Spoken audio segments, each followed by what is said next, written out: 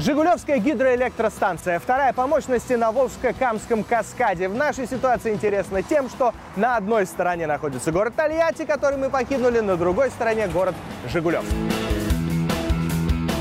Признаюсь, Жигулевская ГЭС впечатлила бы меня больше, если бы я не видел Красноярскую и Саяно-Шушенскую.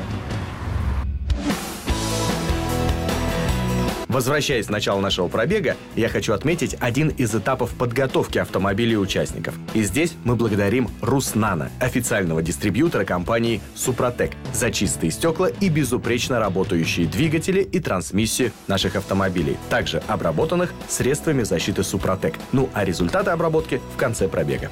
Три салфетки, пять минут и идеально чистая поверхность на протяжении трех месяцев. Нанопротек вместе с нами пробегаем.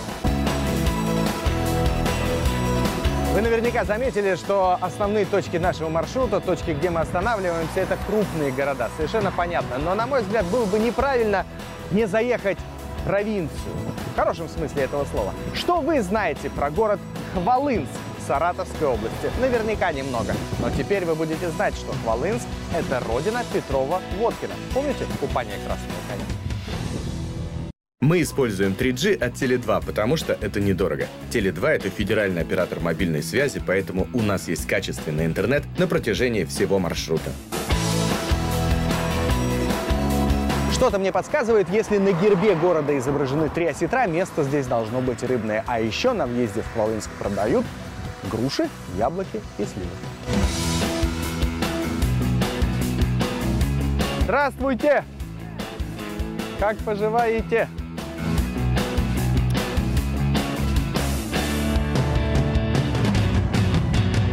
Можно сливы попробовать?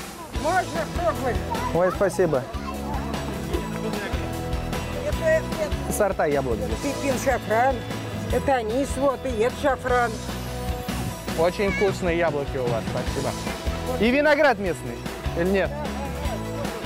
Да ладно. А что за сорт такой? Это Вера, это Кадрянка.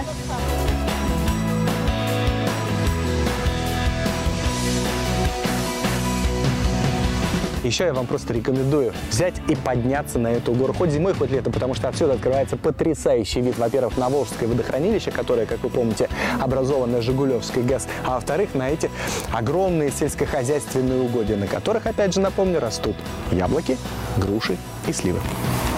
Ну а если говорить про самое интересное, что нам удалось обнаружить в Хвалынске, то я вам настоятельнейше рекомендую. Хвалынский горнолыжный курорт. Самый настоящий, причем круглогодичный. Конечно, скатиться летом на лыжах с этой горы не получится, зато вы можете искупаться в подогреваемом бассейне под открытым небом. То же самое можно совершить и зимой. Представляете, зимой вы катитесь на лыжах, потом отправляетесь и купаетесь себе спокойно в бассейн. Чудесное место. Хочу спросить тебя, Алексей, как горнолыжник горнолыжника. Как тебе трасса Хвалынская? Трасса нормальная, ну, конечно, бо- больше положника, но есть веселые места, где вот сверху, самого верху, есть такая полка, где сначала ну, такой полу, полуположняк, а потом будет момент полета. Ну, Но хорош- не вдаваясь в терминологию, можно сказать, что хотел бы покататься здесь. ну, разок можно. Если бы мне кто-то сказал, что в городе с населением в 14 тысяч человек есть такое место, я бы не поверил. Наверное, как и вы, определенно жителям Хвалынска очень повезло. Представляете, как здесь зимой, когда вот там катаются с горы, а ты сидишь спокойненько и наблюдаешь за этим увлекательным процессом. Курорту 10 лет, самому как горнолыжному, да, когда мы заявлялись. Э, И несколько лет мы работаем как круглогодичный комплекс. Поэтому два года назад был построен э, комплекс «Хвалынские термы» и пивоварня крафтовая. Это то, что нам позволяет продвигать себя летом. Э, Люди всегда летом хотят воду, купаться. Поэтому вот «Хвалынские термы», собственно, сейчас мы и увидим.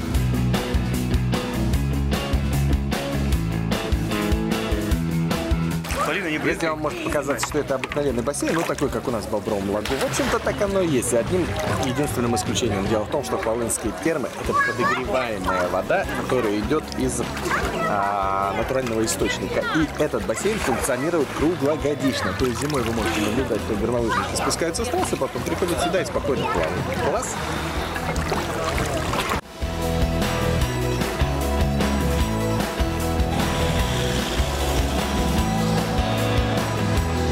Этом месте я хочу признаться в любви к нашему автомобилю, потому что если бы не Arctic Trax, у нас было бы намного меньше красивых, масштабных, объемных и очень высоких съемок. Для нас не существует дорог. У нас есть только направление. И я очень этому рад.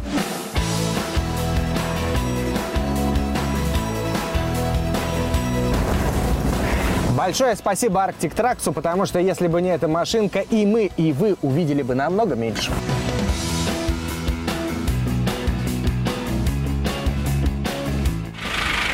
Вот и первое дорожное приключение, слава богу, связанное не с нами. Только что перед нашим первым автомобилем, который шел в колонне, «Газель» въехала в фуру, и, соответственно, все содержимое «Газели» вы можете наблюдать на дорожном покрытии. Конечно, очень неприятно с учетом того, что темное время суток, да еще какой-то непонятный смог стоит.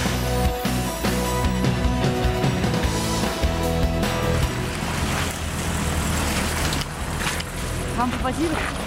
Да нет, не обязательно. Не надо? Я могу. Раз, два, три. Давайте прогуляемся и посмотрим на всю эту красоту своими глазами. А здесь, поверьте мне, есть на что посмотреть. Чайна? Шэньчжэнь. Шэньчжэнь, Хонконг.